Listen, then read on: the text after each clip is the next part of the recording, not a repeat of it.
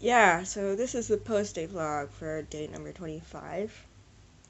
Well, that was interesting.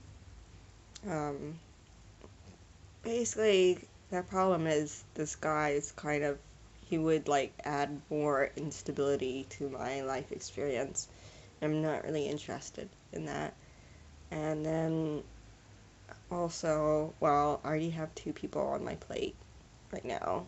Like, mm, their date with the with the architect, their date with Greenwich Punk, uh, and they're both. I think they're both like good, interesting guys. I don't really need any more people.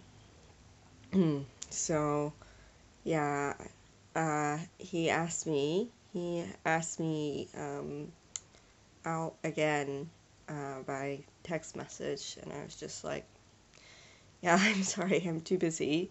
Like my life is complicated enough and I don't yeah. I'm just I mean nothing was that promising so yeah. I, that that's pretty that's a pretty decisive no. So see you later. This is the unconventional woman